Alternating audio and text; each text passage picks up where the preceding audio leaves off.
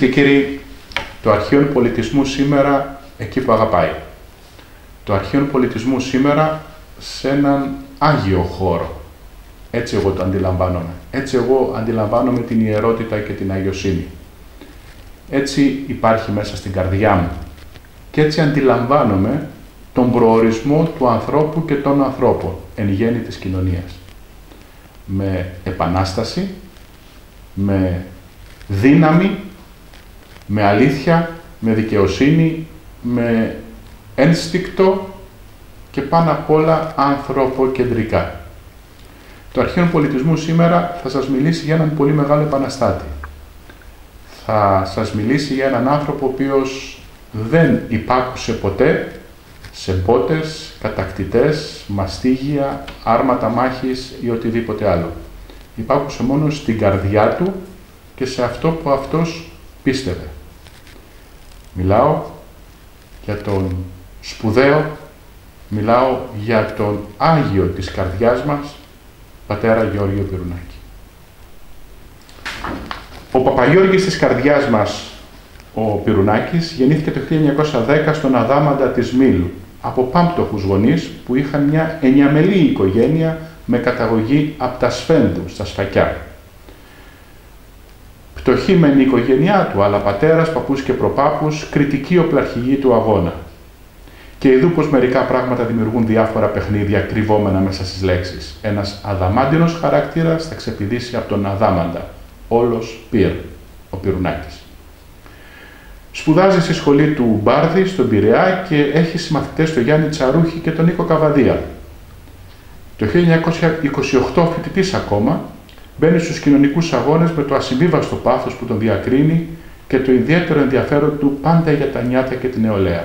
Τα παιδικό του χρόνια τα περνά στον Πειραιά, όπου το 32 εργάζεται ως καθηγητής θεολογίας και ιδρύει το πρώτο νυχτερινό γυμνάσιο της χώρας μας, έξι δημοτικά νυχτερινά μεικτά σχολεία στον Πειραιά, δύο επαγγελματικές σχολές κοριτσιών και τις κατασκηνώσεις για τους εργαζόμενους νέους, τις πρώτες στο, είδος, στο είδος τους, καθώς και το πρώτο λαϊκό πανεπιστήμιο. Επίσης καθιερώνει τη γιορτή του εργάτη Χριστού. Στις κατασκηνώσεις του Χαρούμενα παιδιά, Χαρούμενα νιάτα, ως το 2006 είχαν φιλοξενηθεί πάνω από 14.000 παιδιά και είχαν δώσει τη βοήθειά τους 2.700 εθελοντές. 7 στα 10 παιδιά που φιλοξενήθηκαν την περίοδο 94-2006 ανήκαν σε οικογένειες που ζούσαν με εισοδήματα κάτω από το όριο της πτώχειας. Το 1940 ο Παπαγιώργης βραβεύεται από την Ακαδημία Αθηνών για τα έργα του. Αλλά την ίδια χρονιά η δικτατορία του Μεταξά σταματά τη δραστηριότητά του και διαλύει την οργάνωσή του. Το 1941-1945 η οργάνωση Φιλική Εταιρεία Νέων οργανώνει σπίτια στοργής, τα οποία φιλοξενούνται 500 εγκατατελεμένα παιδιά, δύο αναρωτήρια, τρεις θερινές κατασκηνώσεις.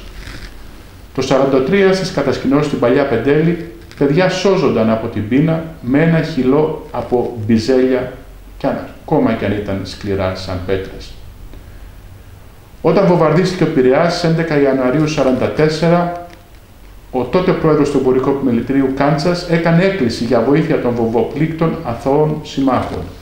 Με διαταγή των Γερμανών, κανείς δεν έπρεπε να διαβαστεί. Έπρεπε οι νεκροί να πάνε αδιάβαστοι και άκλαυτοι. Αυτός που έσπασε αυτήν την γερμανική ναζιστική διαταγή ήταν ο Παπαγιώργης ο Πυρουνάκης, πρώτος στη γραμμή από όλους. Το 49 χειροτονείται ιερέα στην Ελευσίνα, Πίστη του είναι ότι μέσα από την Εκκλησία μπορεί να γίνει η ανάπλαση της κοινωνίας και του ανθρώπου. Αλλά η ηγεσία της Εκκλησίας που τον θεωρεί κίνδυνο για τον εκδημοκρατισμό της Εκκλησίας και το ξύπνημα του λαού, τον καταδιώκει εν τέλει έως το τέλος της ζωής του.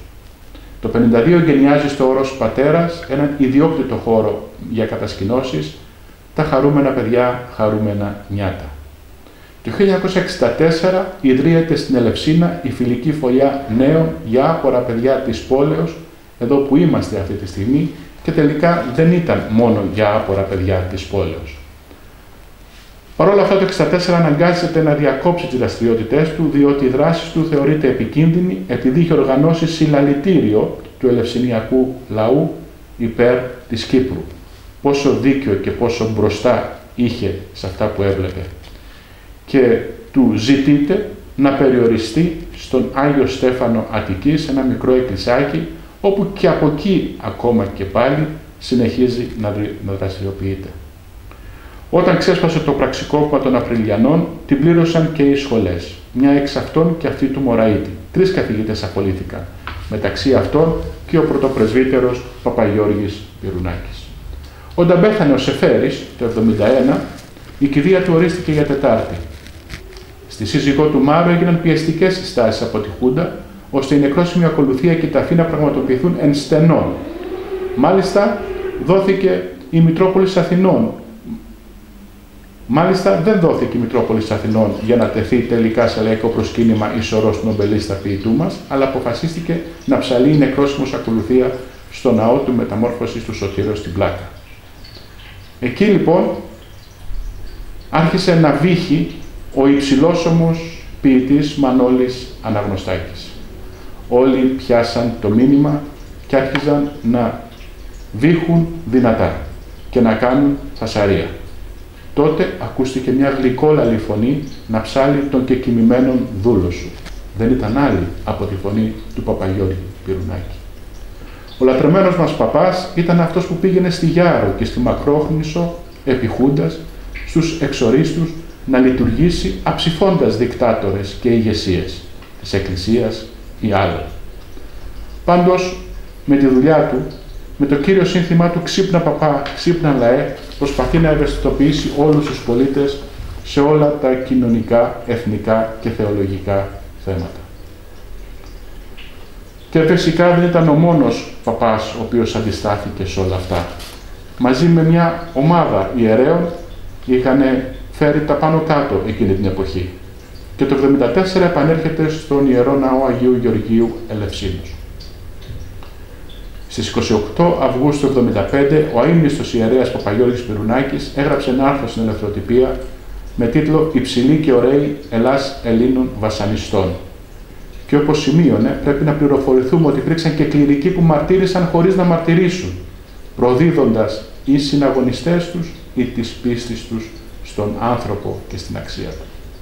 Το καλοκαίρι του 1979 το απαγορεύτηκε να λάβει μέρος στο Παγκόσμιο Συνέδριο Αντιστασιακών που έγινε στην Ισπανία και γι' αυτό προσέφυγε στο Συμβούλιο της Επικρατείας.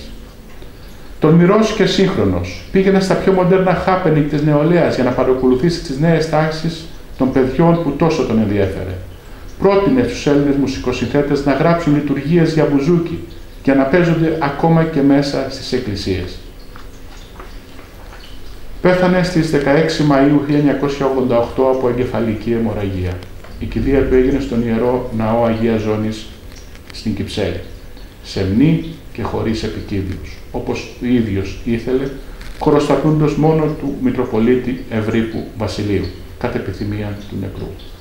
Η ταφή του έγινε στο κημητήριο της Αναστάσεως του Πυραιός, όπου τη σύμπτωση ήταν θαμένοι όλοι οι βομβαρδισμένοι νεκροί του Πειραιά που ο ίδιος διάβασε και έθαψε. Στα σφακιά λένε πως ο καλός φακιανός τελειώνει τη ζωή του ή από βόλη ή από τσούρισμα και ο Παπαγιώργης ετελείωσε και με χιλιάδες βόλια στην πλάτη και με εξούρισμα αυτή τη ζωή του. Για άλλη μια φορά θα μας κάνεις να κλάψουμε. Ήσουνα από τα πνευματικά παιδιά του Παπαγιώργη που τα αγαπούσε ιδιαίτερος. Σας καλωσορίζουμε σε αυτόν τον χώρο. Είσαστε, μην πω οι μοναδικοί, ελάχιστοι. Σε ελάχιστους επιτρέπω εγώ να έρθουν σε αυτόν τον ιερό χώρο. Εσείς και εσύ ειδικά έχεις αποδείξει και έχεις αγκαλιάσει με πολύ αγάπη τις προσπάθειες που γίνονται εδώ σε αυτό το τελευταίο έργο του πατρός Πυρουνάκη. Που μετράει ήδη πόσα χρόνια ζωής, από το 64. 64 μέχρι τώρα. Τι... Μισός αιώνας και παραπάνω. Μισός αιώνας. Τι κάνετε εδώ πέρα; Τι κάνουμε; Πολύ απλά πράγματα. Που μπορεί να τα κάνει ο καθένας. Δεν χρειάζεται να έχει διπλώματα, παπλώματα και οτιδήποτε άλλο. Εγώ ναυτικός ήμουνα Και όταν έφυγε ο πατέρας μου για το ταξίδι του, αναγκάστηκα να φύγω τα βαπόρια, να αφήσω τα βαπόρια για να αναλάβω αυτό το έργο. Το έργο ζωής και αγάπης του. Αυτός ο χώρος εδώ αγκαλιάζει παιδιά που δεν έχουν μόνο οικονομικά προβλήματα, έχουν και κοινωνικά. Και τα μεν οικονομικά τα λύνουμε πάρα πολύ εύκολα. Η μεγαλύτερη δυσκολία μας είναι τα κοινωνικά προβλήματα. Και αυτά λείπονται με το αίσθημα της αγάπης, που το άκουσα και στον τίτλο της δράσεώς σας. Αν υπάρχει το αίσθημα της αγάπης και το αίσθημα της ελευθερίας, τα πάντα λύνονται. Τα παιδιά μας μετά το σχολείο θα έρθουν εδώ να απολαύσουν το γεύμα αγάπης. Δεν έχουμε καμία σχέση με τα συσίτια δυστυχώς που βάζουν τον κόσμο στη σειρά για να τους προσφέρουν τι, ένα πιάτο φαΐ. Και, εδώ, και εγώ δεν είμαι καθόλου υπερήφανος που προσφέρουμε φαΐ σε αυτά τα παιδιά που έχουν το δικαίωμα να έχουν τα πάντα. Είχαν την ατυχία όμως να έρθουν στον κόσμο όχι σαν τα δικά μου και δικά σας και δικά σας παιδιά. Εκεί παρεμβαίνουμε. Ο πατήρ Πυρουνάκης θα έχει αγαπήσει αυτά τα παιδιά περισσότερο από τα δικά του και δεν είχε λίγα, 8 παιδιά. Εμείς έχουμε κατορθώσει να τα αγαπάμε σαν δικά μας παιδιά. Είμαστε μία μεγάλη οικογένεια που αποτελείται από 170 παιδιά και δεν ξέρω πόσους άλλους μεγάλους. Και τι κάνουμε, καθόμαστε και σκεπτόμαστε τι θα τους προσφέρουμε ώστε να μην τους λείψει τίποτα στη ζωή. Ναι, γιατί πρέπει να πω εδώ πέρα ότι η, κάθε πρωί που βάζετε το κλειδί στην πόρτα δεν σκέφτεστε μόνο τι θα μαγειρέψετε σήμερα, αλλά και τι ανάγκες έχει η Ανούλα που παντρεύεται μεθαύριο, ο Κωστάκης που θέλει να πάει μια εκδρομή με το σχολείο και δεν έχει χρήματα να πάει και για να μην μείνει παραπονε, παραπονεμένος και αισθάνεται μειονεκτικά, φροντίζετε γι' αυτό. Σε ποιο θέατρο θα τα πάτε, σε, ποια, σε ποιο μουσείο, σε ποια εκδήλωση, να έρθει το πούλμα να τα πάει, γιατί αυτά τα παιδιά. Τα είπες καλύτερα από μένα. Δεν θα μπορούσαν ποτέ να πάνε, έτσι δεν είναι; Έτσι είναι, ακριβώς έτσι. Μία φορά το μήνα θα πάμε σε θέατρο που δεν πήγαν ούτε τα παιδιά μου ούτε τα δικά σου. Λυρική σκηνή, εθνικό θέατρο. Μία φορά το μήνα θα πάμε στα μουσεία. Τα έχουμε κάνει ευτυχισμένα γιατί; Γιατί μοιραζόμαστε τα πάντα. Το παιδί έχει μία διέστηση και καταλαβαίνει πάρα πολύ καλά ποιος πραγματικά ενδιαφέρεται για αυτό να είναι. Μοιραζόμαστε τα πάντα μαζί με αυτά τα παιδιά. Τη χαρά τους και την κάνουμε μεγαλύτερη, τη λύπη τους και την κάνουμε μικρότερη. Μία εποχή μοιραζόμαστε και τις ψήρες τους. Τώρα τα παιδιά μας είναι τα πιο καθαρά, τα πιο ευτυχισμένα και τα πιο χαρούμενα παιδιά. Κυρίες και κύριοι, με τη φωλιά αγάπης ελευσίνας του πατρός Πυρουνάκη, θα είμαστε σε λίγο και πάλι μαζί. Έρχονται και άλλα πράγματα που θα ακούσετε που δεν βγαίνουν παρά έξω. Σε λίγο.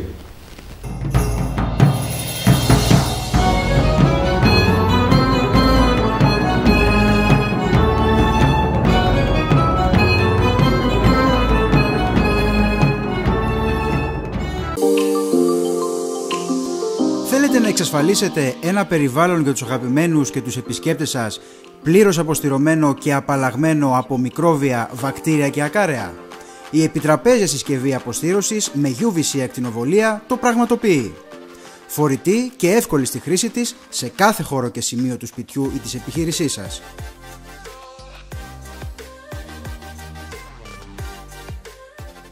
Διαθέτει τηλεκοντρόλ λειτουργίας και ορισμό χρόνου απολύμανσης. Για τους επαγγελματίες που θέλουν αποστηρωμένους χώρους υπάρχει η λάμπα οροφής με μόνιμη εγκατάσταση είτε Wi-Fi είτε χρονοδιακόπτη. Εξασφαλίστε οικονομικά και εύκολα, σωστή και πιστοποιημένη απολύμανση.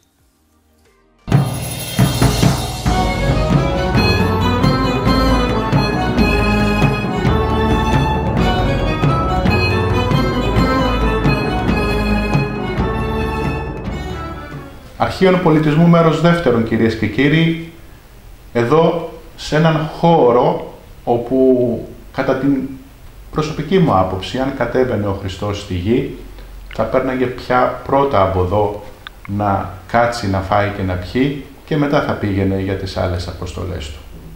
Μαζί μου είναι ο Μπάμπης ο Πυρουνάκης, ένας από τα, τους γιους, ένα από τα παιδιά του πατρός Γεωργίου, που παράτησε τη θάλασσα και ήρθε εδώ σε άλλη θάλασσα να κολυμπήσει γερά και βαθιά και θέλω να σε ρωτήσω Μπάμπη μου όταν πήρες αυτή την απόφαση ήξερες το έργο, φανταζόσουν πόσο μεγάλο είναι ή απλώς ήταν μια, στην αρχή μια ανάγκη να συνεχίσεις το έργο του μπαμπά και σιγά σιγά μάθαινες και το ένα και το άλλο και το παράλληλο; Είχαμε την τύχη να μεγαλώσουμε τα παιδιά του Παπαγιώργη Πυρουνάκη να μεγαλώσουν μέσα στα έργα του.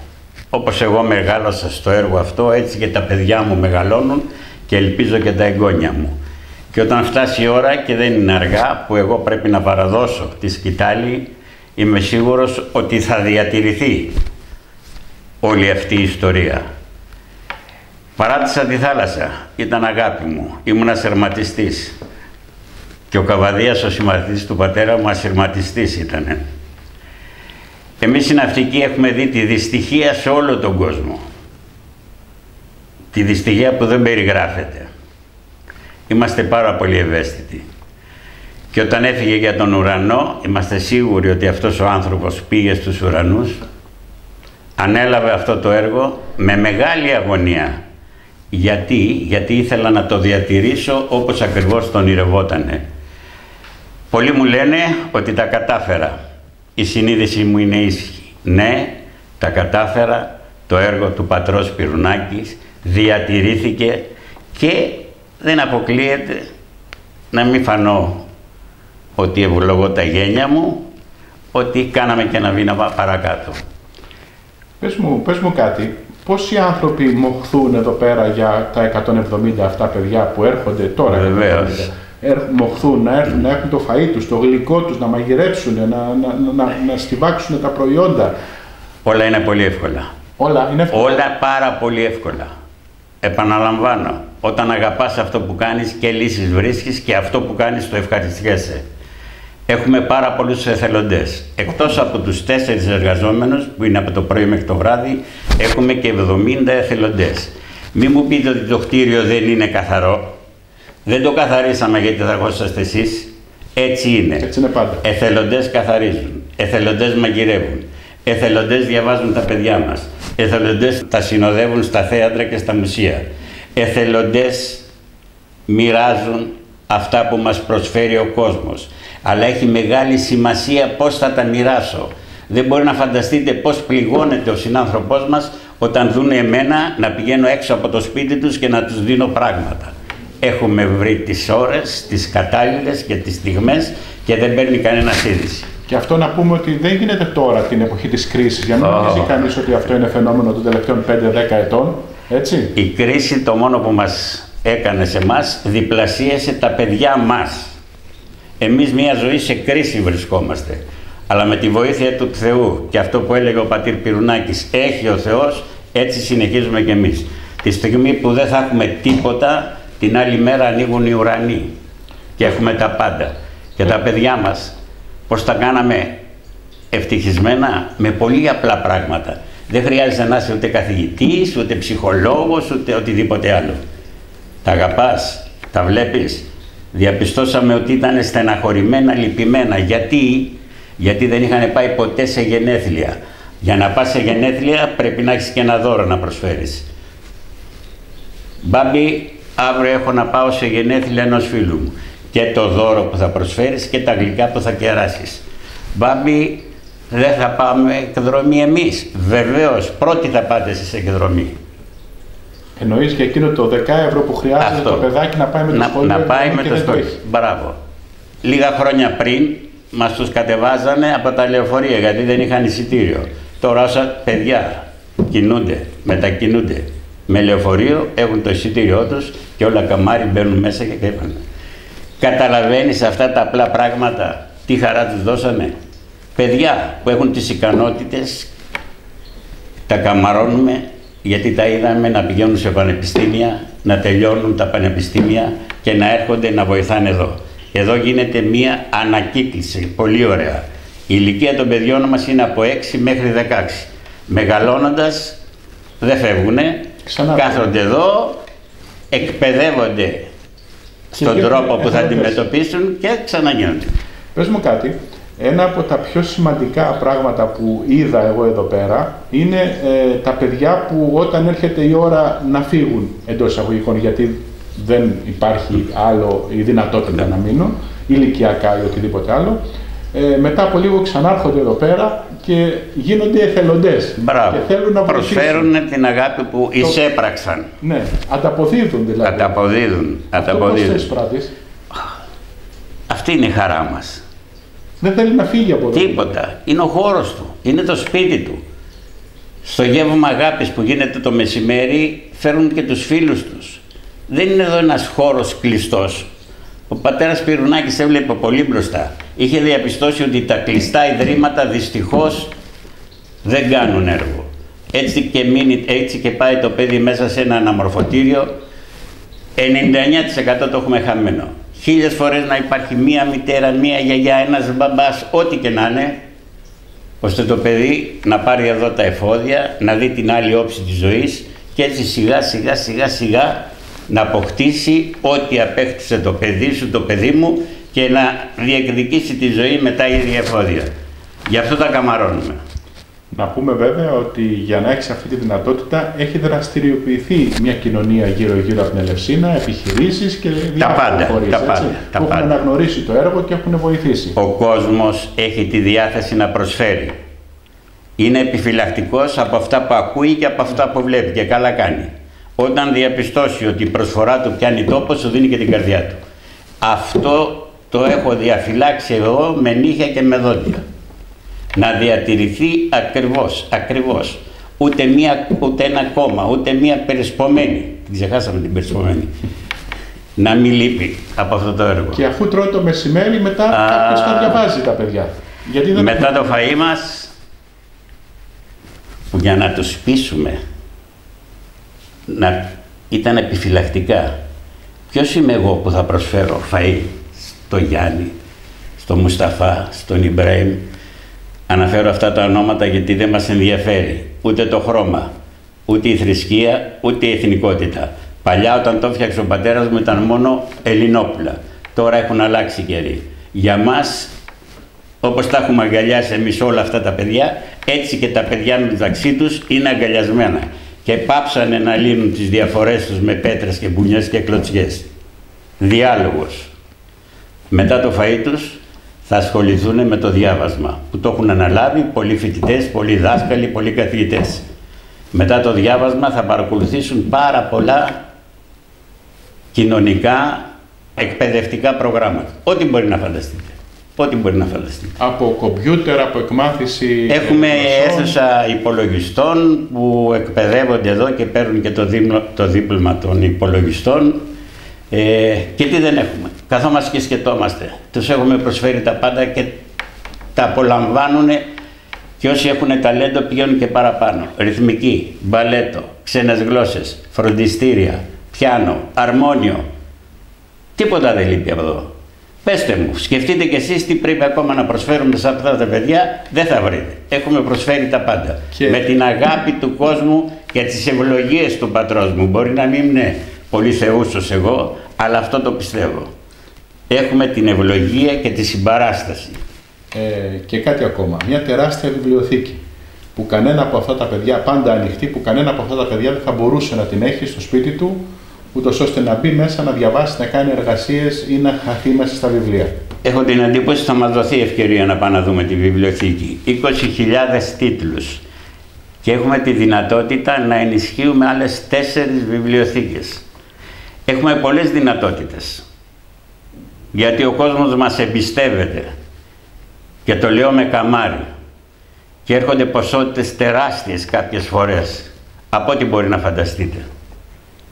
Φανταστείτε πόσα συνεργεία πρέπει να υπάρχουν ώστε να μοιραστούν 5.000 γιαούρτια που λήγουν σε δύο μέρες. Είμαστε μια μεγάλη κυψέλη με πάρα πολλούς εργάτες. Κυρίες και κύριοι, με τη φωλιά του πατρός Πυρουνάκη θα είμαστε σε λίγο στο τρίτο μέρος αυτής εδώ της εκπομπής.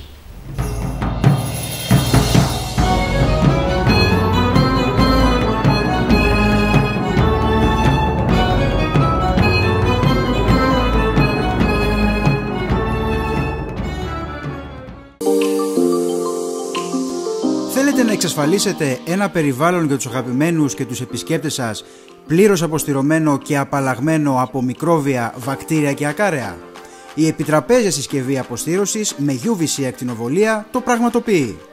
Φορητή και εύκολη στη χρήση της σε κάθε χώρο και σημείο του σπιτιού ή της επιχείρησής σας.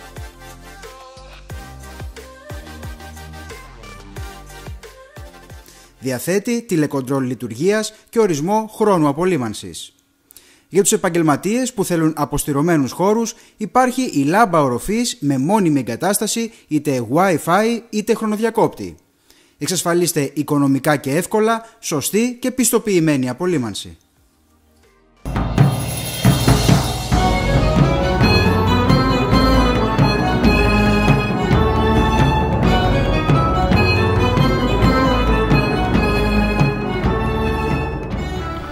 Αρχαίων Πολιτισμού μέρος τρίτον κυρίες και κύριοι, σήμερα εδώ σε έναν ιδιαίτερο χώρο που χωρί, χωρίς φασαρίες, φρουφρού και αρώματα επιβιώνει για περισσότερο από 50 χρόνια με ένα έργο ενός ανθρώπου οραματιστή, τον ιερέα, τον παπά της ενορίας που λείπει δυστυχώς σήμερα από την ελληνική κοινωνία. Σε αυτό το εύρος, σε αυτό το μέγεθος, σε αυτή την ακτινοβολία. Μαζί με τον πατέρα Πυρουνάκινο, μαζί με το γιο του, τον φίλο μου τον Μπάμπη και θέλω να σε ρωτήσω τώρα Μπάμπη για τον πάτερ φαμίλια Πυρουνάκη, Γιώργο Πυρουνάκη, όχι τον παπά, τον πατέρα, στο σπίτι. Πώς ήταν. Εάν πω ότι δεν τον πολύ βλέπαμε, δεν θα είναι υπερβολή. Αφού είχε αφιερώσει τη ζωή του κυρίως για τα παιδιά, για τα νιάτα. Το κενό που υπήρχε το κάλυπτε η Χρυσή, η σύζυγός του. Πρεσβυτέρα δεν ήθελα να τη λέμε, η σύζυγός του. Κάλυπτε το κενό που είχε αφήσει ο πατέρας μου. Ε, περισσότερο τον βλέπαμε σαν ιερέα. Όπως βλέπει ένα παιδί, έναν παπά. Με λίγο δέος, με πολύ σεβασμό. Δεν μας έλειψε ή δεν λυπηθήκαμε που δεν τον είχαμε δίπλα μας όπως σε μια οικογένεια ο πατέρας συμπεριφέρεται με κάποιον τρόπο, με στοργή. Όχι ότι δεν μας αγαπούσε. Απλώς είχε τόσα στο κεφάλι του και έτσι εμείς το επιτρέπαμε να μας παραμερίσει λίγο ώστε να, να καλύψει τις ελλείψεις που είχαν όλα αυτά τα παιδιά. Στην κατοχή, το είπες εσύ προηγουμένως, στην κατοχή να έχει 4.000 παιδιά που σωθήκαν από την πείνα. Ζήλεψες ποτέ που αγκάλιαζε άλλα παιδιά, σαν παιδί. Ας το, το, το συνέστημα τώρα που το πώς το βλέπεις, σαν παιδί. Δεν νομίζω. Όχι, όχι, όχι, όχι. όχι, το κάνει όχι. με τόσο γλυκό ε, τρόπο. ναι, ναι, ναι, ναι, ναι. Θέλω να σου πω κάτι, ότι εμένα η γιαγιά μου, το ξέρεις, το έχουμε συζητήσει, ε, διαβάστηκε, θαύτηκε, επειδή ήταν ο παππούς, ο μπαμπάς σου ήταν στο βομβαρδισμό του Πειραιά που ήταν από τις άτυχες εκείνες γυναίκες που καταπλακώθηκε. Και θα πρέπει να πηγαίναν άκλαυτες με βάση τη διαταγή του Γερμανού. Αυτός ο παπάς που αντιλαμβάνεσαι ότι δεν έκατσε ποτέ στα αυγά του, είτε χούντα του μεταξά ήταν, είτε κατοχή των Γερμανών ήταν, είτε εμφύλιος ήταν και κάποιοι θέλαν να διαμελήσουν την Ελλάδα, είτε μετά αργότερα ήταν κάποιες κυβερνήσεις που βγάζανε κάποιες απίστευτες αποφάσεις, είτε οι εκκλησίες, κάποιες, ε, ε, επικεφα, κάποιοι επικεφαλής... Σε βοηθάω, ή δεσποτάδες. Ναι, δεσποτάδες, κάποιοι επικεφαλής, δεν ήταν όλοι. Κάποιοι ήταν, ναι. είτε χούντες ήρθαν μετά, είτε α, αυτός ο άνθρωπος ποτέ, μα ποτέ δεν υπέκυψε. Ε, πες μου λοιπόν, τι αντιλαμβάνεσαι από αυτό το DNA. Είναι ένα κριτικό DNA αυτό, το αντιλαμβάνομαι, ένα σφακιανό ανυπόταχτο DNA. Αλλά πώς το εισπράττεις εσύ, πώς τον εισπράττεις αυτόν τον παπά που τον έβλεψε ένας μιλίχιος άνθρωπος, ένας ήρεμος άνθρωπος, φοράγε το σχήμα, σαν όλους τους άλλους και ξαφνικά βλέπεις ότι είναι ένας άνθρωπος ο οποίος δεν έσκυψε ποτέ το κεφάλι σε κανέναν. Πράγματι δεν έσκυψε το κεφάλι σε κανέναν. Και ενώ τον έβλεπες, να είναι δραστήριος, να πετάει και να έχει μία έκφραση απερίγραπτη που δεν μπορεί να την περιγράψεις. Μετά από δύο-τρεις μέρες τον έβλεπες με κομμένα τα φτερά και ερχόταν η μητέρα μου και μας έλεγε πάλι τον απογοήτευσαν και τον είχαν απογοητεύσει οι φίλοι του. Με τους εχθρούς του μπορούσε και τα βγάζε πέρα. Εκεί που πικρανότανε και γέμιζε δηλητήριο η ψυχή του ήταν όταν οι φίλοι του ή τον εγκατέλειπαν ή του βάζανε τρικλοποδιές. Γι' αυτό δεν τον βλέπαμε σαν πατέρα, σαν κάτι ξεχωριστό. Γιατί πάντα κάτι θα είχε να μάχεται. Κάτι θα προσπαθούσε να επιτύχει. Τις περισσότερες φορές, δυστυχώς, δεν τα κατάφερνε. Όχι γιατί δεν είχε τις ικανότητες. Φαντάζομαι να τα έχει καταφέρει κιόλας. Δηλαδή. Ναι. Πόσοι άνθρωποι θα είχαν σωθεί. Mm.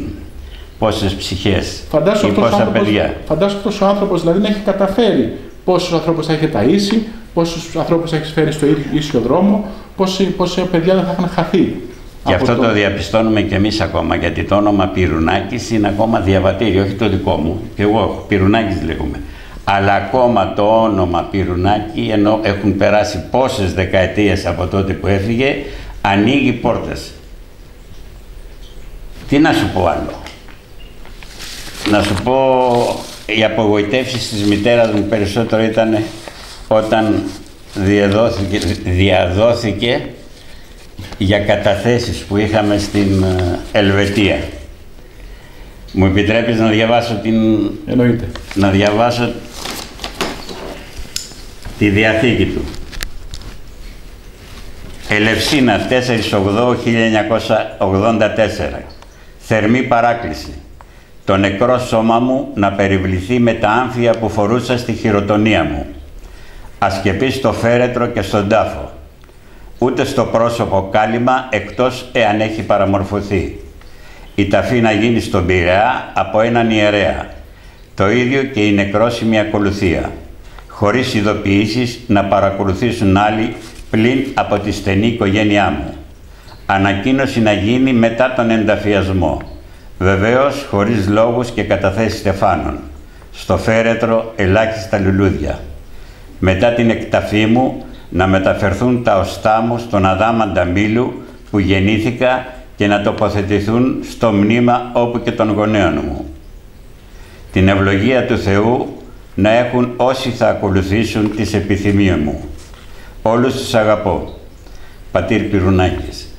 Μια ζωή ταξίδευα, 25 χρόνια στη θάλασσα και έδωσε ο Θεός να κλείσω τα μάτια και του πατέρα μου και της μητέρας μου να βρίσκομαι δηλαδή ξέμπαρκος.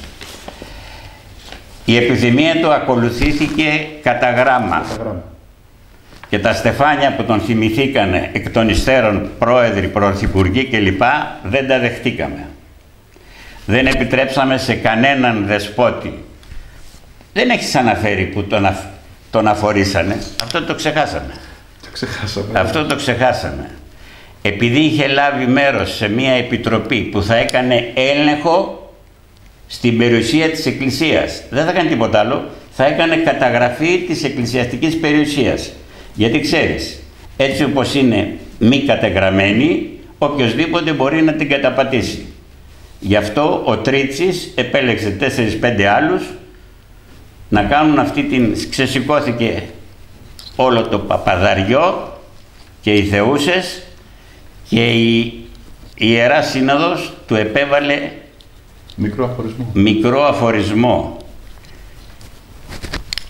Για έναν ιερωμένο που πιστεύει, μπορεί να ήταν ο πιο μοντέρνος παπάς και ήταν ο πιο μοντέρνος παπάς, αλλά πίστευε, πίστευε και στην αγάπη και στον άνθρωπο. Αφού πίστευε στον άνθρωπο, είναι σαν να πιστεύει και στο Θεό. Όταν τους στέρισαν το δικαίωμα να Της αγίας κοινωνίας, αυτός είναι ο αφορισμός νομικό. Είναι σαν να τον σκότωσαν. Και μετά από 4-5 μέρες που έγινε αυτός ο, ο αφορισμός, ήρθε η μητέρα μας και μας λέει ο πατέρας σας σβήνει. Πράγματι, τότε είχε αρχίσει και δεν άντεχε άλλο τις κακοτοπιές.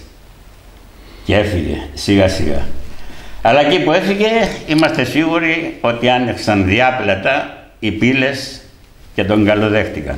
Μακάρι να έχουμε κι εμείς, να είμαστε άξιοι δηλαδή κι εμείς, να πάμε κοντά τους. Ήθελα να το προσπεράσω γιατί είναι μια μελανής σελίδα και για την, για την εκκλησία. αυτό, αλλά και είναι, είναι μια μελανής σελίδα Βεβαίως. και που αργότερα ανερέθηκαν βέβαια όλα αυτά. Ναι. Έτσι, αλλά τι να το κάνεις. Όχι. Ε; Του δώσανε κάψω- χάρη. Να σε κάψω Γιάννη, να σε ανυψωμένη. Του δώσανε χάρη. Χάρη δίνεις στον εγκληματία που του δίνεις χάρη. Η Εκκλησία οφείλει στην οικογένεια μία συγνώμη για το σφάλμα που έχει κάνει. Δεν έχει όχι έρθει- για μας, Δεν έχει έρθει η συγγνώμη. αυτό ακόμα. όχι, όχι για μας, εμάς δεν μας πειράζει, για την ίδια την Εκκλησία, γιατί την βαραίνει αυτή η αμαρτία. Πολλά φιλιά στην εκπομπή σας, συγχαρητήρια και φιλιά στους τεχνικούς εδώ που ήρθαμε γιατί τους είδα ότι παρακολουθούν όλοι αυτοί. Κυρίες και κύριοι, αυτή ήταν η εκπομπή Αρχείων Πολιτισμού και χτυπάει εκεί πέρα που πονάει. Διότι αν όλοι κάτσουμε στα αυγά μας και δεν μιλήσει κανένας, τότε ποτέ δεν θα μπορέσουμε να μάθουμε από τα λάθη μας και να τα διορθώσουμε και να μην τα ξανακάνουμε. Μεγάλη αξία η επανάσταση στη ζωή συντελείται κάθε μέρα από τον καθένα μας, κάθε δευτερόλεπτο. Μη μένετε άφωνοι μπροστά στην αδικία και στο λάθος που συμβαίνει δίπλα σας. Εάν δεν σε ενοχλεί η ασχήμια, έχεις ήδη γίνει μέρος της. Γεια σας.